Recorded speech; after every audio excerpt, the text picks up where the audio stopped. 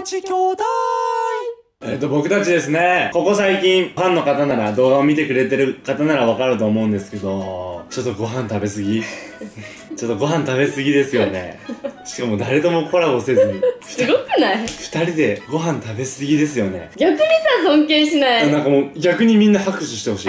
ね。うん。逆にすごいよ、あやたち。じゃあちょっと見ていいですか？ちょっと過去の動画。じゃえ、最後コラボしたのいつってか、あやたち。えマジでめっちゃ前じゃない？いやでも JP さんとコラボしてるんだよね。ああと、ミキオだとコラボしなかった？ちょ、割と最近。ー。いや、でも結構前だよ。あの、ジュキヤがいるわ。うん。ジュキアなんてコラボじゃないじゃん、そんな。JP さんと1ヶ月前。うん。でも、1ヶ月前で1人でしょ？うん。ヒカルさんとミキオだ3ヶ月前。実質3ヶ月ぐらいマジでコラボしてないってことでしょ、うん。で、夜の人が6ヶ月前。んもう本当にこんな、もう。で半年前に夜の人あれとコラボして、3ヶ月前にヒカルさんとミキオだとコラボしたぐらい。やばくない？やばい。なんで？コラボしなさすぎじゃない？多分、ちょっとこれ、言っていいのかな、多分俺らってコラボしづらいんじゃない？嫌われてるってこと、え？ー、なんでだろう？なんでなんだろう？だってさコラボとかのやつ呼ばれないもんね。呼ばれないの。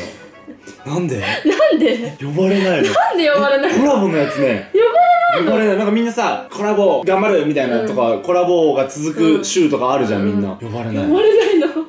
なんで？で、俺らもうコラボウィークとかそういうのやろうって思わないんだよね。思わないとか気まずいから。なんで？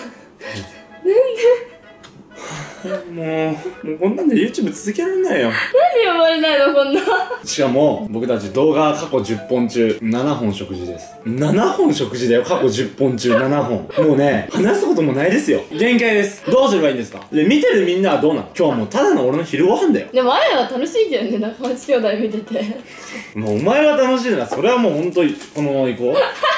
マジで。この空のように広